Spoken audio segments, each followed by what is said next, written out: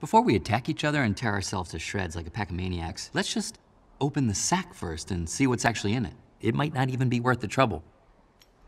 What do you think? I'm not sure. Uh, Maybe. Hi.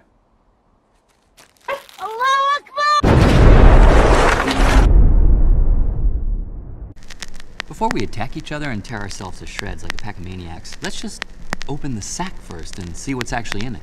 It might not even be worth the trouble.